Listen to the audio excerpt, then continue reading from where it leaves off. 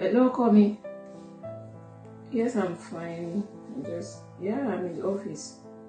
Yes, I have a lot on my table right now. Really? Oh my God.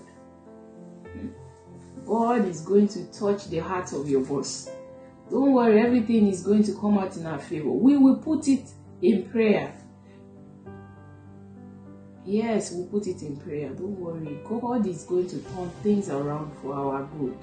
Remember the word of God in Psalm 10, verse 17, where the Bible said that the desires of the afflicted, He said He will take it away and He will strengthen our heart.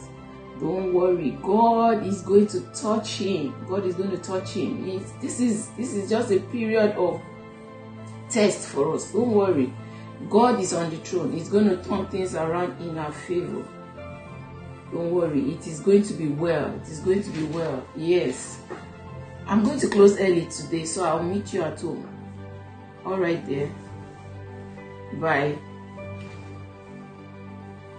Yes, I'm going to embark on a prayer avalanche to stand in gap for my husband. That is what I'm going to do about this situation. This has to stop. Yes, this has to stop.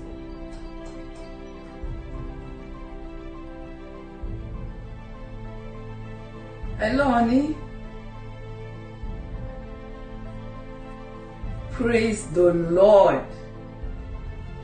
Yes, I told you that what cannot be sorted in prayer, I don't know. Glory be to God. Yes, I'm at home. Yes, I'm at home. So you need to hurry back home so we can celebrate. Glory be to God. Yes, I'm so happy. Yes, yes, come on soon. All right, then see you soon. Bye. Oh, glory, glory, glory to the Lord. Hallelujah. Hosanna, Hosanna, Hosanna. Blessed be the name of the Lord. Thank you, Jesus.